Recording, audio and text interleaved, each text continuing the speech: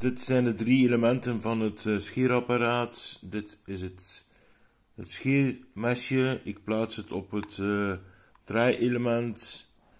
Het toestel draait. Het element draait. Ik sluit het omhulsel.